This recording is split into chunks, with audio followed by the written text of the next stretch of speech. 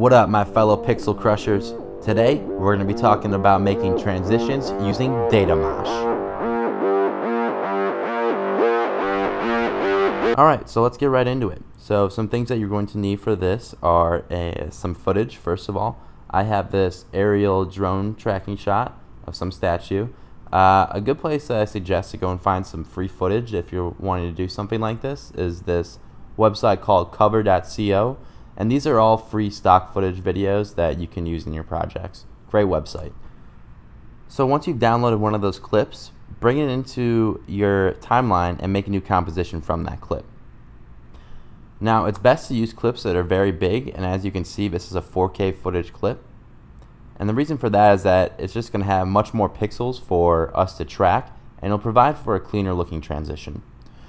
Next we're going to want to shift forward this footage frame about three frames. So one, two, three, boom. Step number two is we're going to generate a new shape layer. Now for the shape layer you want to choose a very vibrant color and one that you're not going to find in the footage clip at all. So I've chosen this very vibrant pink.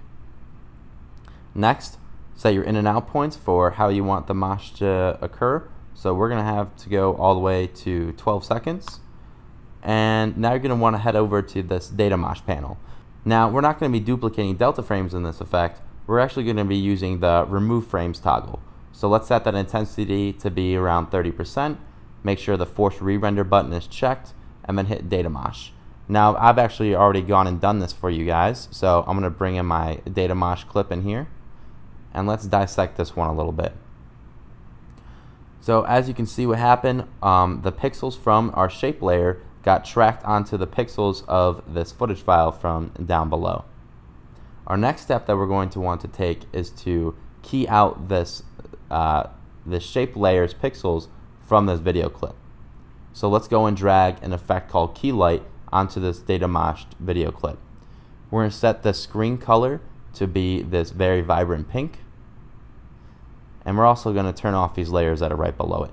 So now you're starting to see that we're getting uh, some of the pixels that were tracked removed from this footage file. So next thing we're going to want to do is add a fill to this footage clip. Then we're going to go inside of this fill settings and we're going to invert the fill. So now, as you can see, this is starting to turn into more of a transition. But the issue is, is that it's going to take 12 seconds for the scene to transition. So let's, uh, let's shorten that amount of time. What we're going to do is hit Option, Command, or Control, and then T. And what this is going to bring up is a feature called time remapping. Now, we're going to take the end of this very clip, or this end keyframe, which represents the time of the clip, and we're going to drag this all the way over to about, let's say, like a second and a half. Alright, so now we're at the end of the clip here, and we still have all these pixels left in the scene. So the way that we're going to be able to get rid of those is by going into Keylight and changing some of those settings. First, let's set the screen balance to be 0. And then let's set a keyframe on this screen shrink and grow. Let's move that keyframe to the start of the clip and then let's crank up the screen uh, the screen shrink and grow until there's almost like no pixels left on the screen.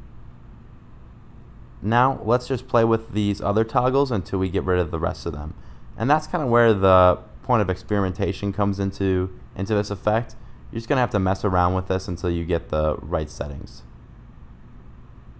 Alright, that's looking pretty good. Great, so we already have an awesome effect going on here. We have all these pixels that are being removed from the screen based on how the underlying footage pixels were moving. So we can do a number of different things. We can set the original footage to be uh, to track matte this footage file or to uh, track matte this Datamosh file, and now we get all these uh, all these pixels moving away from the screen based on how the underlying footage is being represented. So that's a really cool effect. But let's take this a step further. Let's apply an effect called CC Kaleido on top of our Datamosh footage. And so CC Kaleido basically makes a kaleidoscope over your underlying video and its effects. So it gets us this crazy looking snowflake like effect going on. And we can mess with this to our heart's content by changing the size, changing the mirroring, changing the center. changing the rotation. You can do all types of really crazy stuff. So play with that until uh, you get something that is satisfactory. And another another thing that I did was I duplicated this footage and I changed the fill on this to be something like white. Now let's uh, move forward this uh, on this bottom footage file here a couple of frames and now as you can see we're getting this uh, almost trail-like effect from the uh, same footage file. Now let's turn off this transparent background and now you can really see what we're what we're going for here.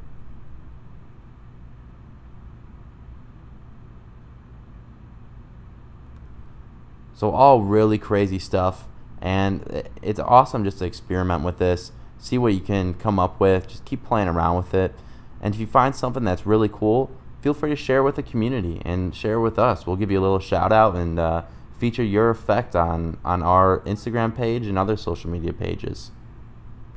I hope you guys really enjoyed this tutorial and learned something about how Datamosh can be applied in all different types of video effects.